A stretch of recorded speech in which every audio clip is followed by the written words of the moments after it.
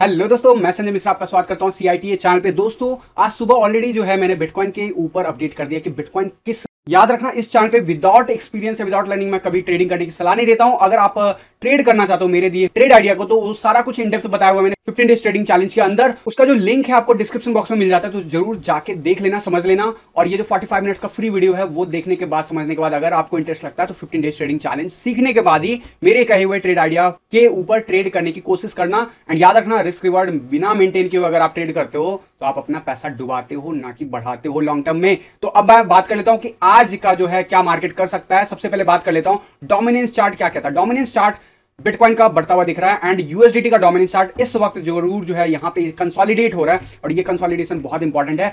अगर ये कंसोलिडेशन में हमें नीचे की तरफ़ देखने को मिलता मोमेंटम तो उसका बेनिफिट थोड़ा बहुत ऑल्टकॉइन को ज़रूर मिल सकता है। लेकिन ओवरऑल आप पिक्चर देखते हो तो आपको लगता है, दिखता हुआ क्लियर दिखता है कि यहाँ पर सपोर्ट लेके बॉन्स ले रहा है। तो एक बॉन्स अगला बॉन्स हमें शॉर्ट ट्रेड जो है फेवरेबल बना सकता है। बात करूँ अगर मैं इथीरियम की तो इथीरियम जो है ज़रूर जो है बीटीसी चार्ट पे सपोर्ट लेने की कोशिश कर रहा है। जो, जो लेवल मैंने कल के दिन कहा था 0.068 उसी के आसपास। लेकिन यूएसडीटी के चार्ट पे हमें फ़िलहाल रिजेक्शन देखने को मिल रहा है। अगर ये लेवल हम 1853 डॉलर पे कीप अगर हमें रिजेक्शन मिलता रहता है तो हम जो है इवनिंग आवर तक जो है मार्केट में नीचे का मोमेंटम और ज़्यादा एक्सपेक्ट कर सकते हैं। फिर से सपोर्ट लेवल अगर मेजर की बात करूँ 1733 डॉलर है, लेकिन अगर 1796 डॉलर के आसपास अगर मार्केट आज दिखे तो कोई बड़ी बात नहीं है। वाइट सो वो आपको बिटकॉइन के एनालिसिस के ऊपर पता चल जाएगा। बाकी अभी मैं इमीडिएटली जो है बता देता हूँ कि यहाँ पे ट्रेडिंग आइडियाज़ में क्या क्या हमें मिल सकता है, किस तरफ़ मेरा फेवरेबल ट्रेड चल रहा है तो मैं शॉर्ट के फेवर में हूँ ऑब्वियसली आज मैंने ऑलरेडी टेलीग्राम पे सुबह में ही आप लोगों को पोस्ट कर दिया था, लेकिन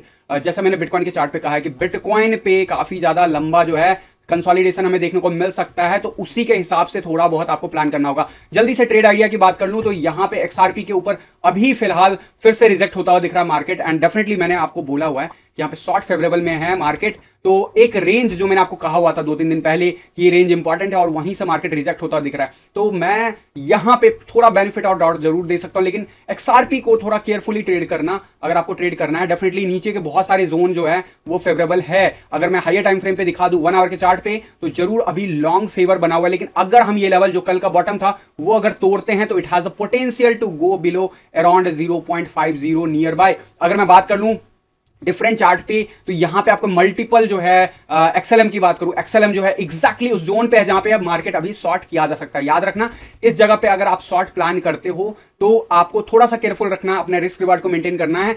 क्यों मैं बोल रहा हूँ? शॉर्ट के लिए वो मैंने आपको बताया हुआ है बिटकॉइन के चार्ट पे भी और बाकी चार्ट पे भी। एंड सेकंड थिंग कि हमारा जो 15 डेज़ ट्रेडिंग चैलेंज के अंदर जो कॉन्सेप्ट बताया हुआ वो भी यही कहता है। लेकिन थोड़ा सा केयरफुल रहना क्योंकि ये टेस्ट जोन किया था, वापस से रिज़ल्ट होकर फिर से अप डाउन अपसाइड ज़रूर जा रहा है। लेकिन यहाँ पे कंफर्मेशन एंट्री आप प्लान आउट कर सकते हो। बात करूँ एक्सएमआर पे तो एक्सएमआर पे भी क्या हमें शॉर्ट का ट्रेड लेने के एरिया में हम बढ़ रहे हैं। तो बिल्कुल आने वाले कुछ मिनटों में हमें मोस्ट प्रोबेबली इसी जोन के आसपास 142.80 के आसपास रिजेक्शन देखने को मिल सकता है। अगर टारगेट की बात करूँ तो जो बॉटम था कल का, वहाँ के लिए आप one is two five plan कर सकते हो।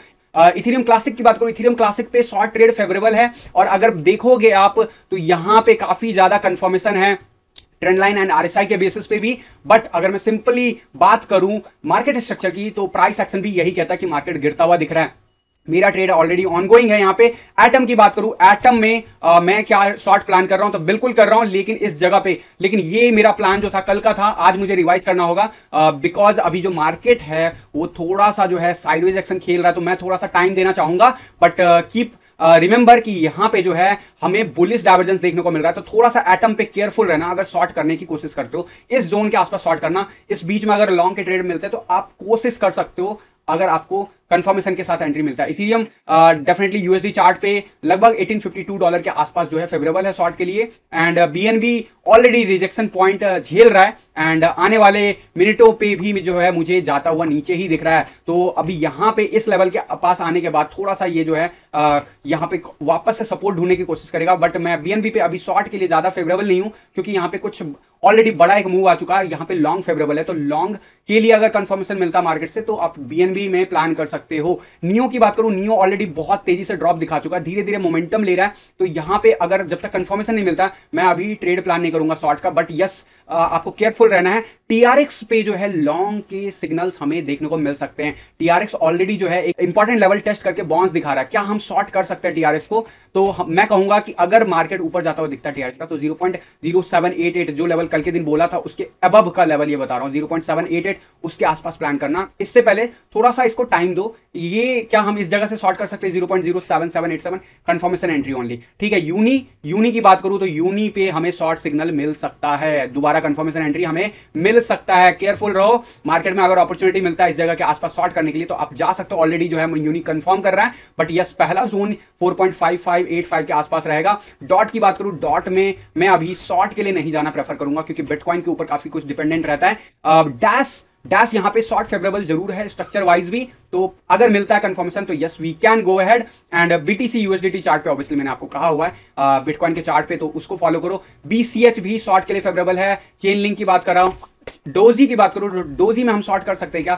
थोड़ा सा केयरफुल रहो। मतलब जब तक इसमें मेजर कंफर्मेशन ना मिले, तब तक मत करो। चेन लिंक जो है, एक बहुत इंपॉर्टेंट जोन से बॉन्स लिया है। तो एक्सट्रीम जोन के आसपास आप प्लान कर सकते हो शॉर्ट के लिए। वेट में ऑलरेडी शॉर्ट प्ले आउट हो रहा है but without having the confirmation on this area तो अब हमें एक वापस से पुल बैक देखने को मिलेगा वेट में इस चार्ट के हिसाब से आने वाले मिनटों में।